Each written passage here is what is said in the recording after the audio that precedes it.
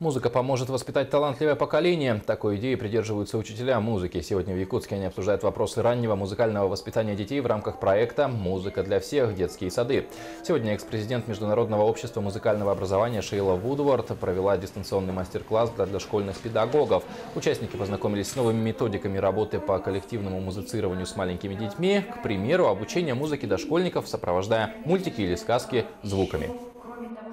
Это подпроект большого проекта. Мы очень э, благодарны Михаилу Ефимовичу Николаеву за поддержку и госпоже Шелли Вудвард, президенту Международного общества музыкального образования. Она была у нас в Якутске, и вот поэтому мы э, содействовала нам, э, чтобы мы выиграли этот грант.